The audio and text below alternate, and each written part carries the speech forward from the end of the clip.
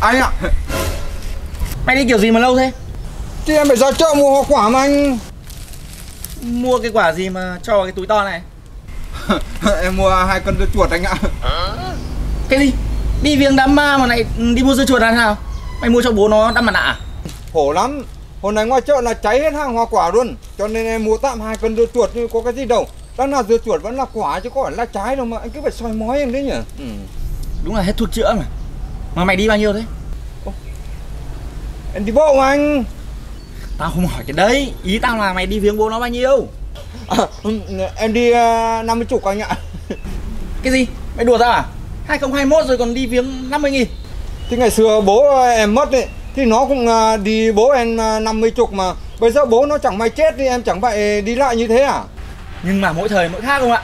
Em chẳng thấy khác gì cả. Có quà có lại hết Bác thôi anh em mình uh, đi luôn chẳng muộn giờ đẹp anh nhỉ? Đi đây? Hay thôi Tốt nhất mày đừng đi đám ma nữa. Thế nào lại thế? Nhìn mặt mày như thế này Đi đám ma dễ bị ăn đấm lắm em ạ. Ơ kìa em chẳng chiều ghẹo bố còn thằng Lao. Thì bố còn thằng Lao nào dám đấm em. Với lại ngày xưa ấy, bố em mất ấy Cái thằng này nó sang nhà em nó khóc nhiệt tình lắm.